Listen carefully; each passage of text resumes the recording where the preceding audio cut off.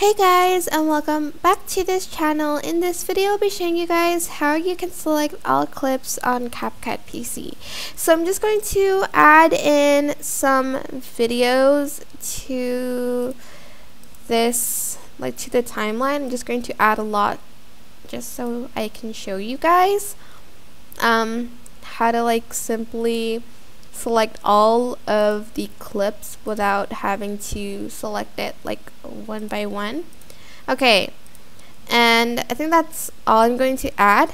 So here you can select all by like pressing like on your mouse and dragging it all the way but it takes time especially if your timeline is super long you can do it when you are zoomed out like that but if you're zoomed in, this is the quickest way to select all of your clips.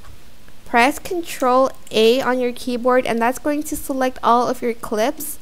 Um, as you can see, if I zoom out, all of the clips have been selected and you can just right click and either group them or merge them. So Control G is to um, kind of make them into like one group, but they're still separate like clips, separate clips.